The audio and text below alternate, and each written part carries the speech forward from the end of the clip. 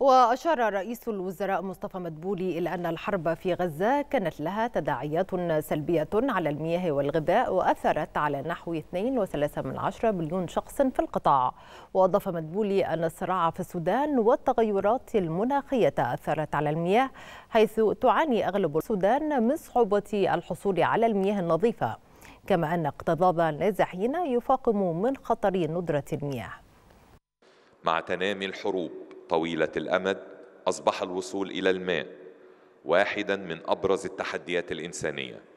ففي الأراضي الفلسطينية المحتلة بقطاع غزة يعمل الاحتلال على منع الوصول إلى المياه والطاقة والغذاء كأداة للضغط والسيطرة وكوسيلة للحرب حيث أدت الحرب إلى تقليص إمدادات المياه في غزة بنسبة تتجاوز 95% مما أجبر السكان على استخدام مرافق المياه والصرف الصحي غير الآمنة ومما أدى إلى التهجير القسري للسكان بالمخالفة لمبادئ القانون الدولي الإنساني كما أدت الحرب أيضا إلى تعطيل الزراعة وإنتاج الغذاء في الأراضي الفلسطينية المحتلة مما أدى إلى انعدام الأمن الغذائي حيث يواجه 2.3 من عشرة مليون شخص خطر الجوع المتزايد.